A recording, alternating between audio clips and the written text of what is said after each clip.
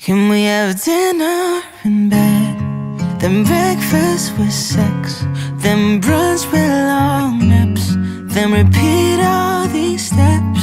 Have ramen in bed. Then omelets with sex. Then brunch with long naps. Yes, I'll be.